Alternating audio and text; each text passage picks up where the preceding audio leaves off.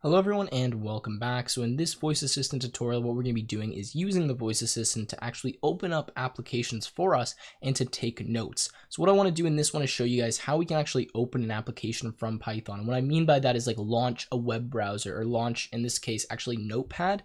What I'm going to do is I'm going to write a note into a notepad based on what we say to the voice assistant. Then it's going to open up that note for us on the computer. I think this is kind of useful and it should hopefully show you a few kind of things that you can do and then you guys can tweak it and mess with it to make it uh, what you guys want for your voice assistant. So what I'm going to do to start actually, sorry, let's go back up to the top here, is import sub process.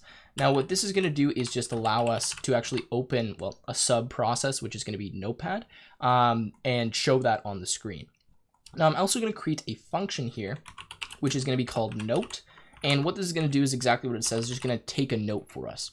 So we're going to take some kind of text, and that's going to be the actual note that we're going to write into a notepad. So what I'm going to start by doing is creating, um, like we need to create a notepad file so that we can actually open it. So what I need to do is figure out what kind of name I should make this. So we're going to save it in the same directory as our voice assistant, but what makes sense to name this file? I can't really just choose like a static name like note or like my note, because then if we have more than one note that we make, it'll override the last note. So what I'm going to do actually is say date equals date time dot date time dot now, which is going to give me the date and time at the current moment. So what I'm going to do is save a file as like date, like whatever the date and the time is dot note or like dot txt, um, so that we can have as many files as we want and they'll all be organized by the date that they were created.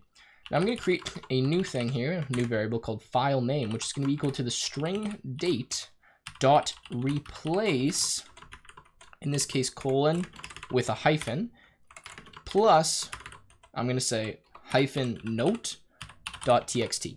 So what this is going to do is define that our file name is going to be equal to whatever this date is, which is going to be like 2019 087 at like 3:45 p.m., whatever it is.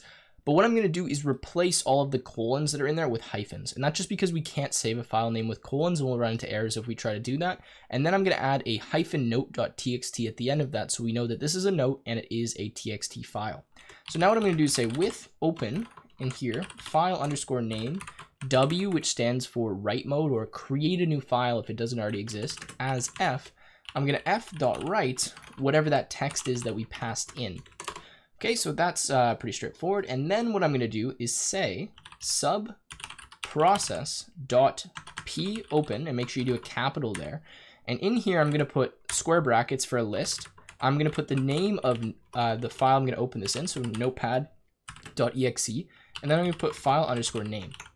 So what this actually means is open the file name in notepad.exe. Notepad.exe comes with all Windows installations, so you don't need to download this. And to use another program, what you need to do is in here specify the path to that program um, and the .exe file. So say you want to open it in like Sublime Text. Well, you need to find where that is. So I will get open file location here. It shows me this is the shortcut for Sublime Text 3. So if I wanted to open in Sublime Text 3, well now I, I need to figure out where this is. So I go open file location. This is the .exe, so I can copy this directory, um, which is right here. So up at the top, if I could get that, and then do slash sublime text.exe, and then it would open in that. You know what? I'm actually gonna do this. I'm gonna say sublime, and I'm gonna try to do it in this one as well, just to show you how this works. So then we do another slash, and that's gonna be sublime underscore text.exe, and we need to put this in brackets. So I'll try to open in both of them and show you guys actually how this works. So before I actually, you know, like call this properly and write some more code down here, let's make sure that this is working. I'm just going to comment out all of this here. And what I'm going to do is just call this function. So I'm going to say note, uh, and then we'll put tech with Tim is the best. Okay, so let's run this. And there we go. When we do that, we actually see that a notepad pops up that says Tech with Tim is the best. And you can see the name of it. I mean, it's kind of small on my screen. Is 2019 09 14 and then 14 27 uh, 41. So it's pretty much just listing the time here. Hyphen note uh, .txt is the name of that note. So I know it's long. You guys can change that if you want. And then you can see that it's saved inside of here uh, in our voice assistant directory. Okay, so now that we've done that, let's try this with Sublime. Um, not really confident that this is going to work, but we'll see. run. Oh, and there we go. Tech with Tim is the best, and that opened it in Sublime text for us. So again, the way I did that was just find the exe for Sublime text. I put that as the first um, thing, so the exact path to it, and then the file that I wanted to open, which was Notepad. And conveniently, this worked for us. Uh, I'm not gonna lie, I didn't think that would work. But anyways, there we go, we got that, so that does work.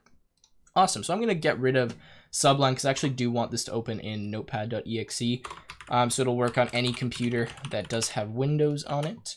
And now that we've done that, we need a good way to actually call this function, just like what we've done down here uh, when we check, you know, if we're gonna actually tell us about our calendar or not. So essentially, what do we need to say to our voice assistant for it to make a note for us? Well, I'm gonna make some kind of phrases that I would maybe want to say for to make a note. So I'd say like, make a note. That's probably something that we're gonna wanna make a note with. We say that. Um, maybe write this down. Um, down. We could do remember this like that.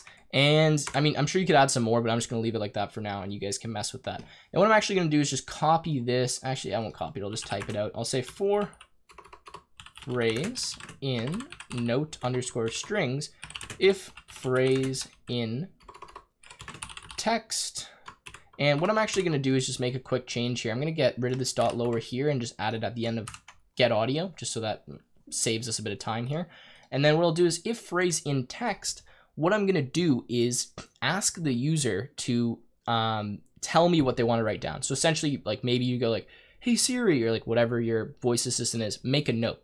So if you say make a note, then what it's going to say back is, what do you want me to write down? Or what do you want me to make a note of? So what I'm going to do here is I'm going to say, speak, what would you like me to write down? Question mark. Then what I'm going to do is get the audio from this. So we'll say like, I don't know, note equals get underscore audio. And we'll put that actually, yeah, I guess we'll put that in dot lower as well. And then what we're to do is we're to pass that to this note function. So we'll say note, um, and then we'll pass note like that. Or actually, I don't think I can name this note. Let's just name it like note underscore text so we don't run into any issues. So we'll say note, note underscore text, and then we will speak. I've made a note of that. Awesome. So that is all we kind of need to do actually, I think, for this to work. So now in theory, we should be able to speak to our voice assistant, ask it to make a note. It'll tell it, ask us what we want to make a note of. It will listen for us to say something. Then it will make a note of that, open up the notepad window, and then tell us that we've made a note of it. So let's try this. Um, make a note. What would you like me to write down? Tim is the best. I've made a note of that. And there we go. Tim is the best. So that actually worked fairly well and fairly quickly. Um, and there we go. So now we have these notepad files up here. Uh, we've written or wrote down Tim is the best, and that worked for us. Now I hope you guys are able to actually hear this audio. I'll try one more example now with like write this down. Write this down. What would, you, like, me to write down? This voice assistant tutorial is cool. I've made, I've made a note of that. And there we go. This voice assistant tutorial is cool and it's made a note. So that is kind of all it is to making notes. I mean, we might want to clean this up by adding a notes directory in here and saving all the files in there. But that is, again, I mean, how you write a note, um, how you get it to open up the notepad for you, which we've been doing each time, and how we can check to make sure we're saying the correct thing when we do that. And I'll show you this is still working. What do I have on Wednesday? You have, you have three events on this day. CEG 2136 lecture at 8.30 a.m. SEG 2105 lecture at 1 p.m. CSI 2110 tutorial at 2 p.m. And we can see that that is now still working. So depending on what we say, we get different responses from our assistant and we're making our way towards a very smart, cool voice assistant. So with that being said, I'm gonna wrap up the video here. As always, leave a comment down below with stuff you wanna see for the rest of this voice assistant tutorial series. And with that being said, I will see you guys in the next